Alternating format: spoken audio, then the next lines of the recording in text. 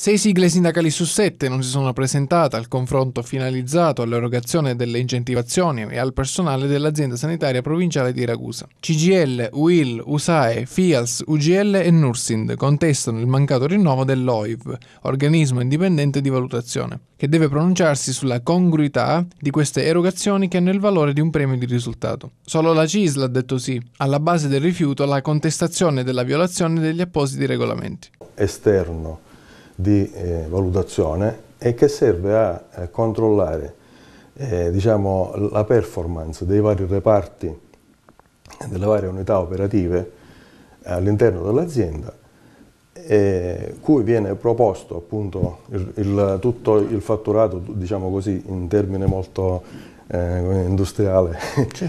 eh, delle, delle, varie unità operative e effettivamente ehm, dopo eh, aver valutato, eh, eh, di solito sono delle valutazioni che si fanno nel giro di 3-4 mesi a secondo sì. perché la riunione e la, la, commissione si, si riunisce sì. diciamo, eh, più volte per, eh, e la vecchia OIB, cioè la, il vecchio organismo che doveva regolare queste cose, scaduto nel, al, il 31 dicembre del 2017, sì.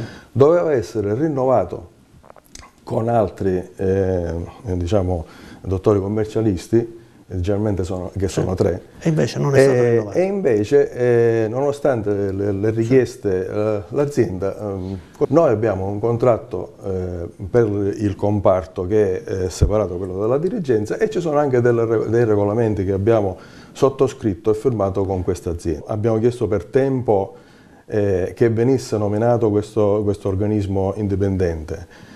Abbiamo chiesto nel mese di ottobre vista la situazione e che ormai si capisce che non sarà eh, da, dateci almeno un altro acconto. Trattiamo su, questa, eh, su questo eh, secondo acconto che non è previsto dal regolamento, troviamo una soluzione. Al che non ci è stato risposto nulla.